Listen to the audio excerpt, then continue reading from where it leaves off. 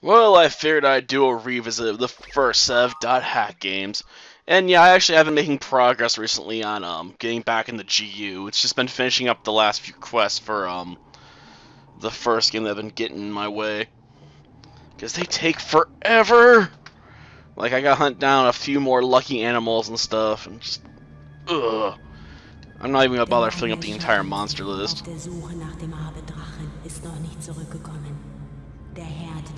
Finsternis grollt. Helba, Königin der Finsternis, stellt schließlich ein Heer auf. Alparon, König des Lichts, grüßt sie. Und sie treffen sich am Fuße des Regenbogens. Die verfluchte Welle muss gemeinsam bekämpft werden. Der See von Alba brodelt. Der große Baum des Lichts fällt. Alle Macht zerfällt zu Tropfen im Tempel von Arche Köln. Wesen ohne Schatten, ihre Welt zerfällt zu nichts. Der Mann des Schattens auf der Suche nach dem Abenddrachen kehrt niemals mehr zurück.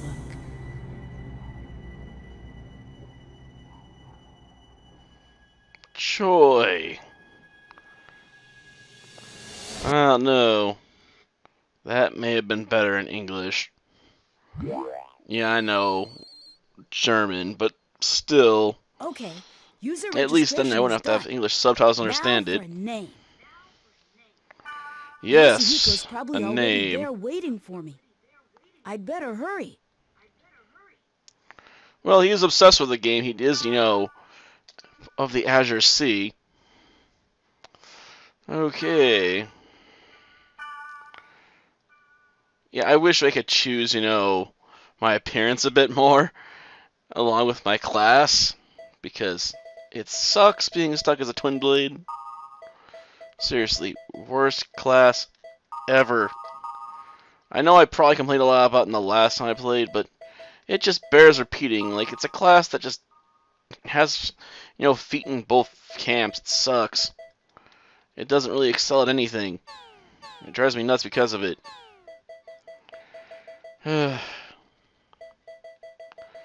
well, I guess we'll do a nod for the next game, despite the fact, you know, this name makes no sense.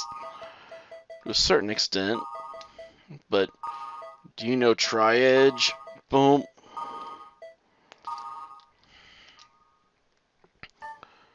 Yeah, let's proceed. Yeah, I never got why Kite was picked as the name, considering it's, it's not like he's gonna be Kite of the Azure Sky. Balmung already took that title. I'll check my email. Ah, darn it. Yeah, yeah, yeah, don't care. That's not interesting information at all. Ugh, Sapphires, we can't even visit a lot of these cities yet. Because our level's not going to be high enough to even get to them. Ugh. I think you only get to like the go to the first two in this game. Not that there's gonna be anything of great interest here. I just hate having the word new pop up on the screen. It just annoys me, okay? Like, I gotta quickly click through this stuff, or I'll go insane. Is there anything interesting on the board? Like, hit me with a keyword here. Um. Yeah, yeah, yeah. I don't care about tolerances and elements because I know the basics anyway. Thunder, dark, water, fire, earth, ground, that sort of thing.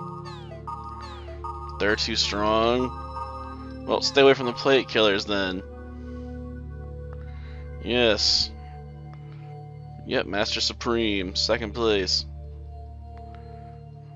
Yeah, we gotta compete with um Balmung if we want to get the top spot.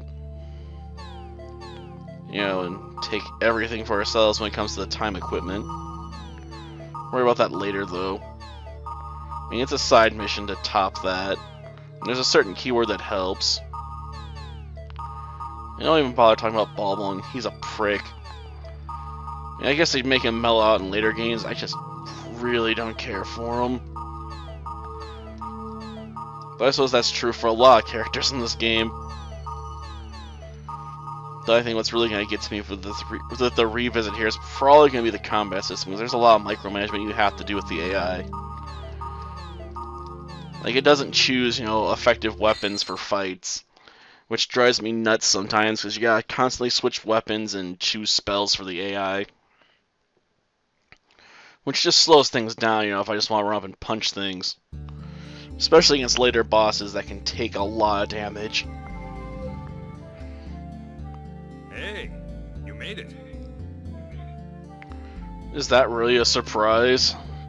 Like I said I was gonna show up, didn't I? Or does my character have a habit of, you know, blowing off meetings? Hey, it's me, Orca, the Blade Master. Well, does he know you by your character at all? This is his first time logging in. whoa! You look so different from the real Yasuhiko. Nothing like the real you. Well, it's a video game. What did you expect? Hey, in this game I'm Orca, regardless of what I am in reality. I'm pretty well known here. Despite only being level 50. In a game where you can go up to level 99. No, you look great. Anyway, take this. Yeah. Smiley emoticon, whatever. Member address is the flashmail address you can only access in the world. With flashmail, you can exchange messages with others in real time, as long as you are in the world. So it's just instant messaging. It's Got it. mostly used by newbies to contact other players to form a party. Why wouldn't it be used by experienced players? Want to exchange everything outside of this stuff with emails because they feel it's more secure? it out by inviting me to join your party. Or those players tend to have more set face times so they can just chat, you know, without sending flash First, mails. Press the triangle button to open the menu. In the menu, select Party. Next, name. Yeah, yeah, yeah. Add Orca. Yeah, yeah, I know. You're the only player I can pick. Can we just move on? Hmm. It's not like we got many other choices here. under your screen. That means I'm in your party. By the way, flash mail is only available when you're in a town. Well, that makes it kind of Oh. useless. You can't contact people when they're not logged into the world. Well, couldn't I just send them messages and wait for them to get back to me later? do have a life, you know. We're not online 24-7. oh, it definitely feels like we're moving away from that with cell phones nowadays. You can't always count on the same members to form a party.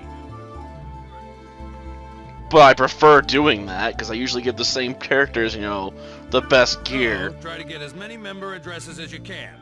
You'll have more fun that way. No, you won't, because it means I have to collect more shit. How you play is up to you. But since EXP and stuff isn't divided among party members, you really don't benefit if you go solo. No. If anything, I wish he took me to a higher level area so I could get more levels faster. Because, you know, he can easily one-shot enemies that are like level 8 or 10. Okay. Well, why don't we head off? There's nothing to worry about. I found a perfect place for newbies. This is the Chaos Oh, well. Gate. Sort of transfer device that takes us from one place to another. Now, press the X button. In the world, Yes. play zone is called an area, determined by a combination of three keywords. Select New Keyword. This is the keyword screen. Yes. New one. You put the three selected keywords one by one for each part. A, B, and C. Which influences their status, you know, for field and dungeon, all that stuff. So this will make a fire field. Is all the keywords you have. Yeah, sadly we don't have that many just yet.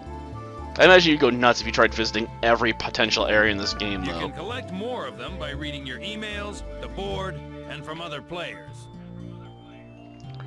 Or randomly messing with them. Though, like I said, you know, the amount you can mess with is just insane. Now, let's enter some keywords by starting. Select. Yes, Good. Bustering, for, for the last one. now passed over done aqua specifying you know, that's the basic one we're getting. So it's gonna be a wood element area level You See one. the symbol on the left next to the keyword? That's the server Yeah. symbol. It indicates which server you are currently logged on to. Yep, we're in the first server. You know, where all the newbies This symbol go. is Delta, so we're logged on to the Delta server. The list on the bottom right is the area status list. See the jewel next to the field type and dungeon? That indicates how the selected keyword affects the status. So fire and water cancel each other out, making it, For you know, example, wood. Check the field type. See the jewel on the right? This means that the field type is being determined by Aquafield, the keyword in C.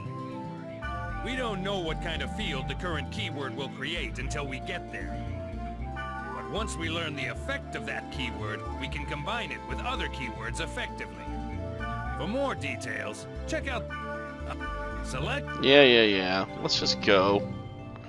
I wish I'd stop rushing, but you know, it's a tutorial. There's only so much I can put up with them explaining shit I already know. Like, this is like the fourth or fifth time I played this game. Before we get going, let me explain to you about the camera control. During the game, Please don't. I'll explain. Yeah, yeah. All directions, especially in the field, because eventually they start wandering around on it. First, rotate the camera. Push either the L1 button or the R1 button. Good. Next, Yes. let's zoom in and zoom. You can zoom the camera Yeah, yeah, yeah. by using the right analog stick. Try it. Though you're usually gonna want to put out as far as away as possible. You reset the camera by pushing the. There you Yeah, yeah, yeah. Okay. I don't need to worry about that right now. Field. It's the lowest level in the area. When you want to return to the town, press the triangle button and select Gate Out from the menu. Grassland, wilderness, and jungle are some of the field types. You can set them with keywords. The combination Yeah, thank you for the update. weather determines the area elements. For example, if it's a grassland and it's raining, that area will be a water element stage. The elements also Yeah, affect the monsters that will appear and the items you can get. I know. Don't worry about it now. As you get used to it, combine words to get different elements. Now, let's get going on our quest. First, you see the... In the... Yeah, yeah, yeah. Can we just start beating stuff up?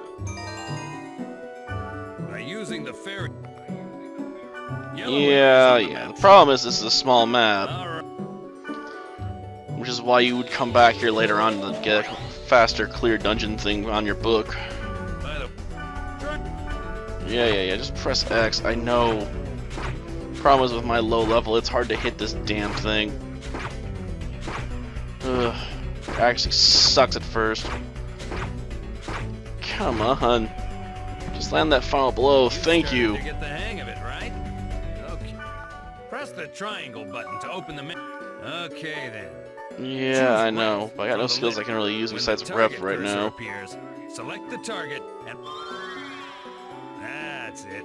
You can target a party member for recovery or remedy skills, and the enemy for attack skills.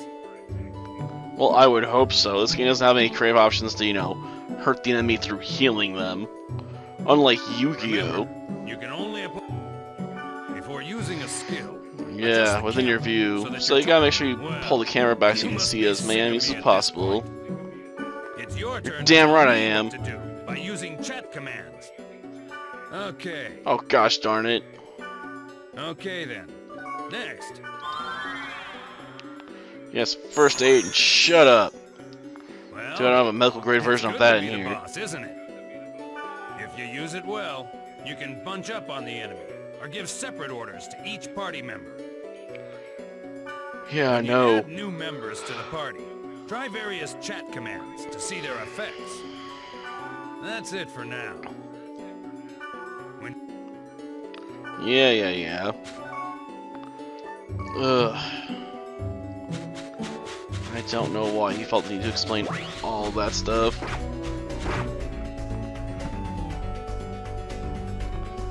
Okay, I can hope there's a dungeon. There's a chest here. Nope. Well. Okay. Yeah, thank you. Okay. We can get a chest at some point. Well, I have to go in the dungeon to get a chest. Because I gotta have equipment I can toss in there before I can, you know, make use of that mist spring. Gosh darn it. Slightly missed the door. My angle was getting in there was terrible. Now we can start exploring the dungeon. Gosh darn it, more tutorial! You need to remember. Yeah, yeah, I can't get out. You gotta go back the way you The came in. Or use a Sprite Ocarina. This is. Yeah, yeah, this one's not booby trapped. Got it. Just let me open it. this one's. Just use the fortune. Yeah. I noticed. See? Let's open her up. The death, huh? Such garbage. The death is completely worthless. Ugh. Like seriously, worst item ever. Like you constantly get copies of the death. It sucks. Okay. Nomad's hood, huh? Well, now. Promise we already have one of those. Ugh. Oh, yes. We must see it. A beast of legend.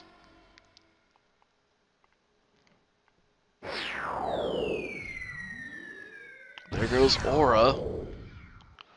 And there's the Terror of Death. What the? Did you just see that? Yeah. Was that thing chasing her? Yeah, but. Something like that on this level? Gotta love how their lips don't move. we couldn't animate it in, it was too expensive. We were pushing this out in a hurry. Of course, even if we fall, they won't be there because they magically disappeared. By going into, you know, a space between worlds, I guess. But, you know, at least we got a treasure chest. Yep, we got ourselves another speed charm. Well, we can't really leave here. After all, Orca has to fall. I suppose I could use a speed charm, but screw it, this dungeon's not very long. Later ones I'll definitely be using them because they're necessary. In, the dungeon. The only way to get out of a trap Yeah, I like this. know there are. All. Every single room in these dungeons is trapped like this. You can never bypass monster fights. Which really kind of annoys the crap out of me. Because it'd be nice every now and again just be able to avoid this stuff and just keep moving, you know? This game's like, nah, you need to fight.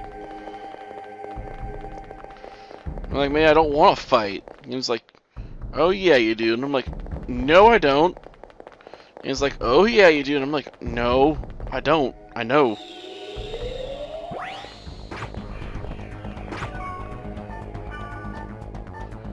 Okay. Uh, Jelly Boss take his fireball. There's no way that did that as much damage. He must have hit it. Well, first aid, will you? Thank you. I know I don't have much HP, but I'll take what I can get. Okay.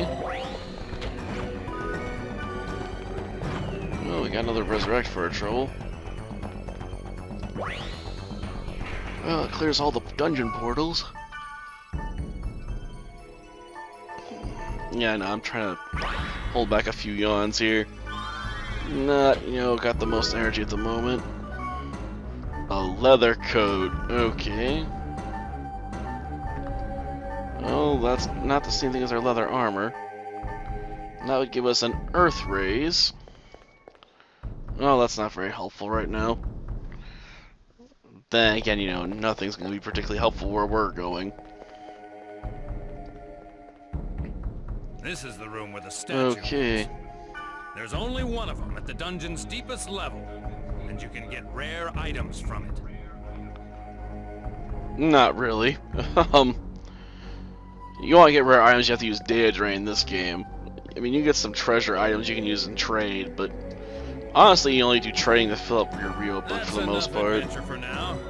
Let's grab the treasure and get back to town, shall we? If we had a Sprite Ocarina, we could warp out of here. But we don't have. I know, it's convenient story bullshit for why we don't have one.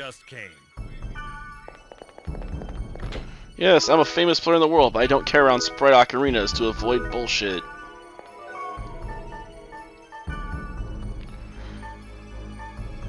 Okay. I'll take the upgraded power, but this tire clogs is really damn expensive if I remember correctly. So we're not gonna really be able to use it.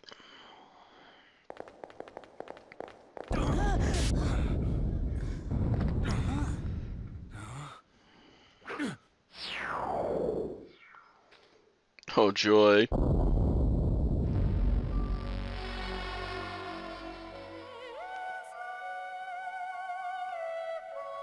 Or was the rumor true? Take this. Please take this. There's no time. Please. What's this? A great force. The power it holds can bring forth either salvation or destruction at the whim of the user. You're... It's coming. I know it's coming, and we're screwed. Because we don't have enough people for this thing. So it is a bit weird that level 50 can't even hurt this thing, while a bunch of level 30s can take it out. It'll kill you! What the hell? What is this? Something wrong. Nothing works! And you should try some attack skills.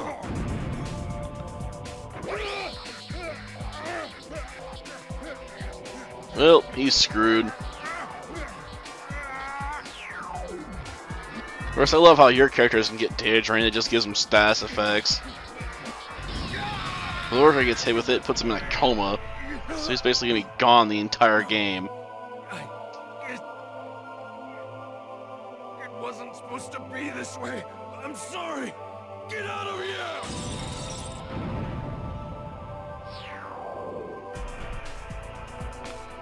Well, that's going back to Aura. Good thing the Terror of Death's more interested in that than kicking the crap out of us.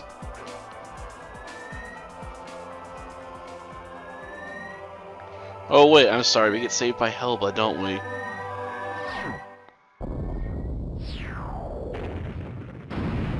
Yep, that's her staff alright.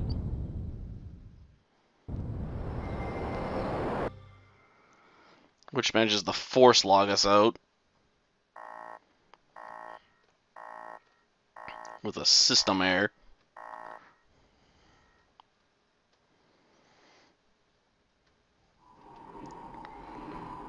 Now we get all the talking, right?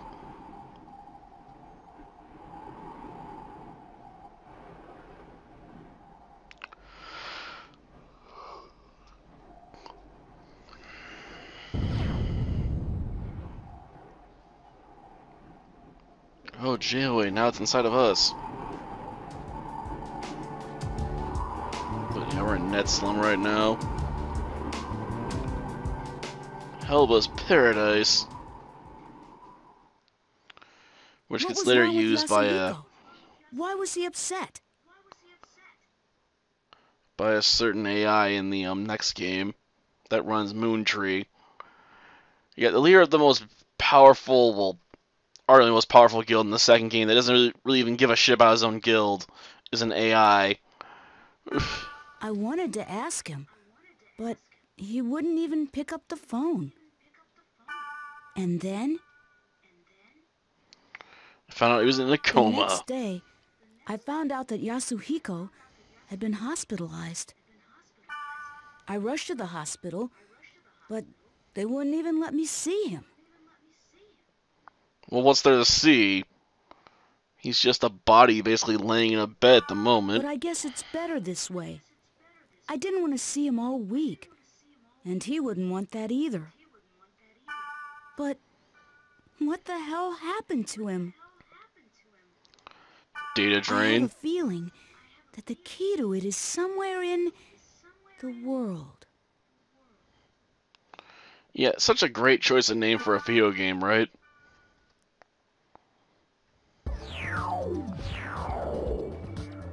Well, we guess we gotta get emails about you know data drain options now.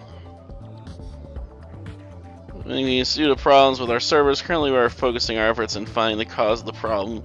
In order to proceed efficiently, we will limit play to only the uh, so we can only access two servers right now. Look at everyone else. Joy. Well, that'll do for this episode. Next time we'll return to the world and begin looking for clues. Until then, see ya.